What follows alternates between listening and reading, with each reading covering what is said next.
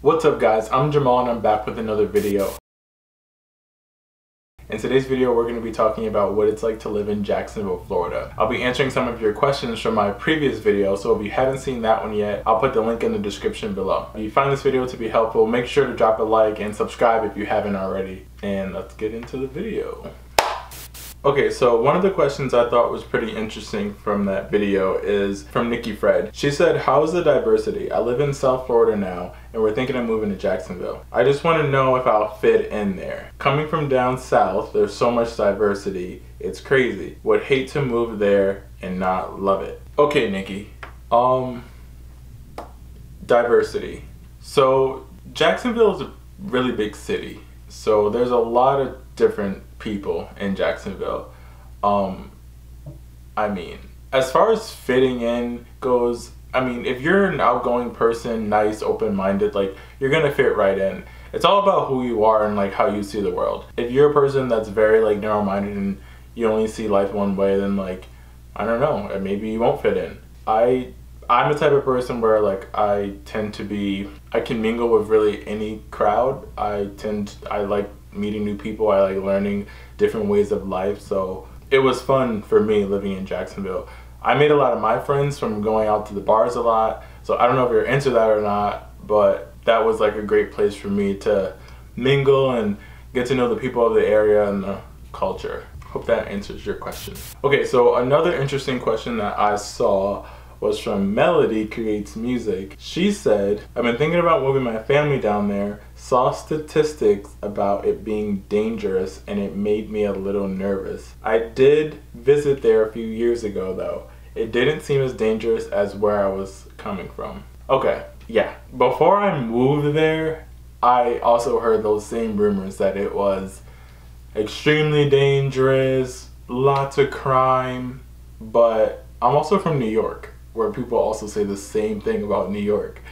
And really, nowadays, I feel like everywhere in the world there's gonna be some type of crime. It wasn't a place where you felt like you can't even leave your house. I mean, it's not as dangerous as you as your mind lets you take it or imagine it. Um, I, I mean, I went to the beach a lot alone by myself. Like, I mean, I've, you know, gone out at night to the bars and like, I don't know. It's not. It's not dangerous. It's not a dangerous area. Like, oh, that's the thunder. To answer your question, it's not dangerous. Don't be scared. Don't. No, it's not dangerous. You'll be fine. Okay, so this comment kind of piggybacks off of the last one. It's from Mick Tyree Girls. She said, um, I'm born and raised right here in Jacksonville, Florida, and it sounds like you were on the nice area nice side area. Try coming to the west side of Jacksonville, Florida. Okay, so she could be right. Maybe on the west side, it's a different culture. I have no idea. I didn't live on the west side. Yeah, but um, thanks McTie. Shout out to you.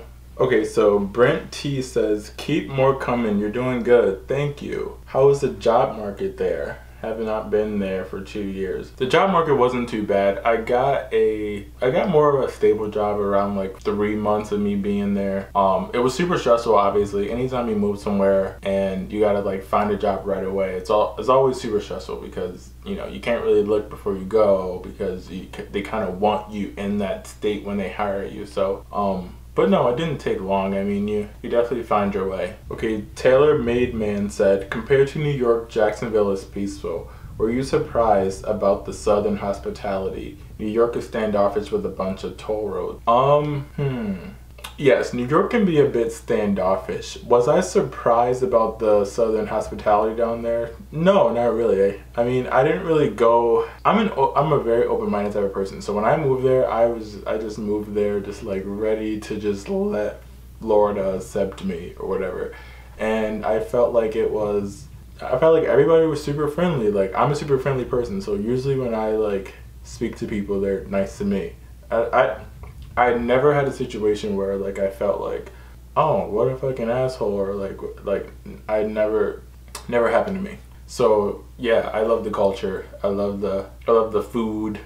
Um, but I'm also from New York where it's like lots of different types of food here too. So the only really change I felt like I experienced was beach and weather.